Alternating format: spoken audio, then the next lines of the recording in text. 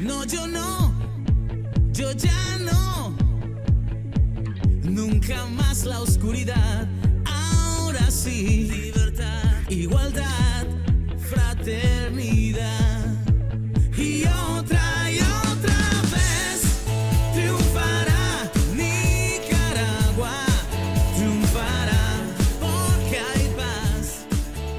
En esta primera etapa de la rehabilitación del Parque Municipal Rubén Darío de Bilwi, se adecuaron ambientes para el esparcimiento de las familias.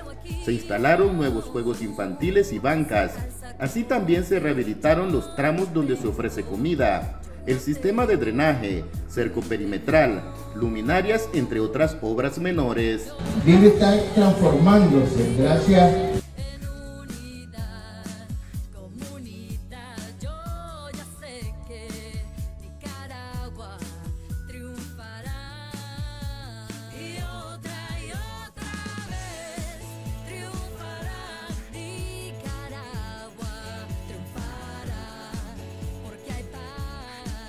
transformar esta, esta ciudad en una ciudad turística, una ciudad en la que todos sintámonos tranquilos de vivir aquí. El alcalde Miguel Abella indicó que todo esto es posible gracias a la voluntad política del Gobierno de Reconciliación y Unidad Nacional.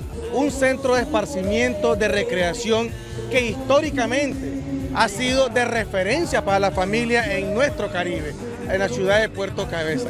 Su primera fase que tiene un monto de inversión de 3.5 millones de Córdoba, con ese apoyo incondicional de nuestro gobierno central, el comandante Daniel y la compañía Rosario, que hace posible que podamos nosotros seguir desarrollando obras que permitan restituir los derechos de nuestra niñez, de nuestros jóvenes, de nuestra familia en general. En el acto inaugural también llegaron estudiantes de diferentes centros escolares, deportistas y padres de familias, quienes celebraron con mucha alegría esta victoria del pueblo. parece bien este porque lo hicieron mejor que antes y pues ojalá que sea no esté mal con las otras gentes que de la de afuera que lo cuiden pues gracias al gobierno tenemos un parque hermoso gracias pues por parque. Y pues que cuiden el parque que no tienen basura pues, yo me incluyo también puedo ser una de esas. Para la inauguración se realizó una misa de acción de gracias, en donde pastores de diferentes denominaciones religiosas ungieron las mejoras de este centro de recreación familiar.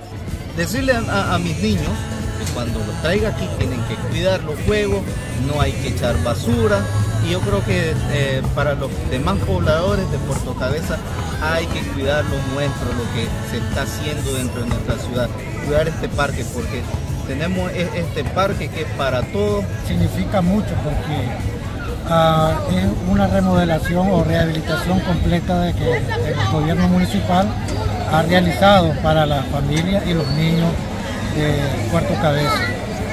Este, nosotros instamos a la población para que, especialmente a los jóvenes, que cuiden estos juegos.